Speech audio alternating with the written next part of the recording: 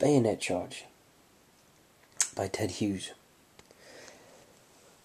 Well, this is about, as it says in the title, a bayonet charge, when soldiers would run headlong with bayonets, very, very sharp swords, effectively, fixed to the front of their rifles, and they're charging at the enemy.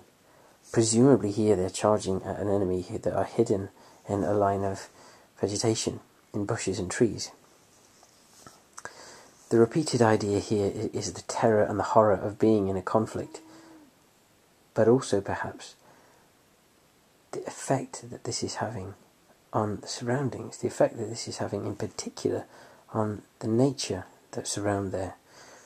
We have this awful description of the yellow hare that rolled like a flame and it crawls and it's just frenzied because it's been caught up in this in this conflict.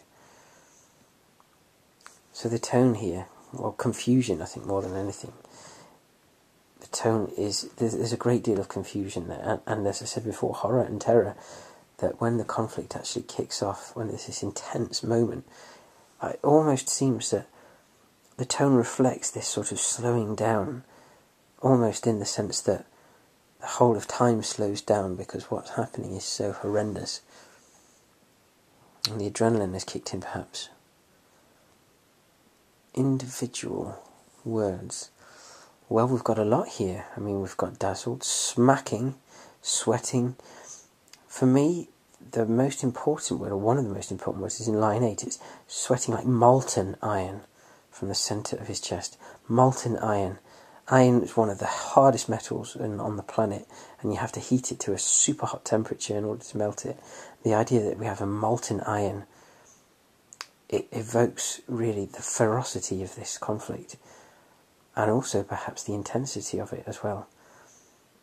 Molten iron as well perhaps has connotations of the actual bullet that's whizzing through the air and literally would be turned almost molten with the power of it being forced from the gun. So alliteration. Not a great deal, although there are touches in line 10 what cold clockwork of the stars and nations.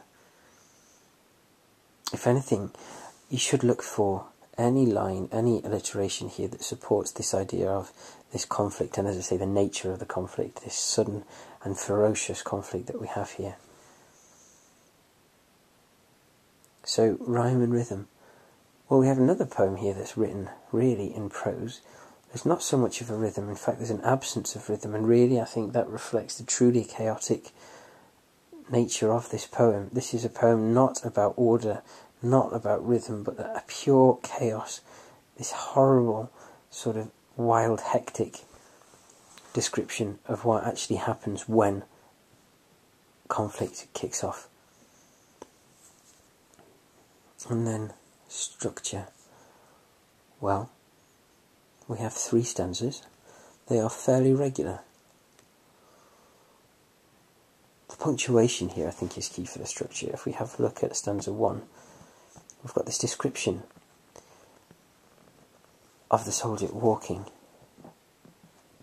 and with lots and lots of dashes. If I count them quickly, one, two, three. Actually, it's only three, but they have a, an interesting effect there's sort of quite a disjointed narrative, which maybe you could relate to the disjointed sort of emotions that this man might be feeling. Incidentally, Ted Hughes is our poet in this sense, and he was renowned for creating poems which were very much focused on nature and the natural world. I think, if anything, our narrator here, by reflecting conflict that is in nature gives this quite an unusual sort of position in the anthology. Do tune in for the next video because I'm going to be talking about Hawk Roosting, which is also by Ted Hughes and in some ways evokes similar ideas about nature. Okay, bye bye.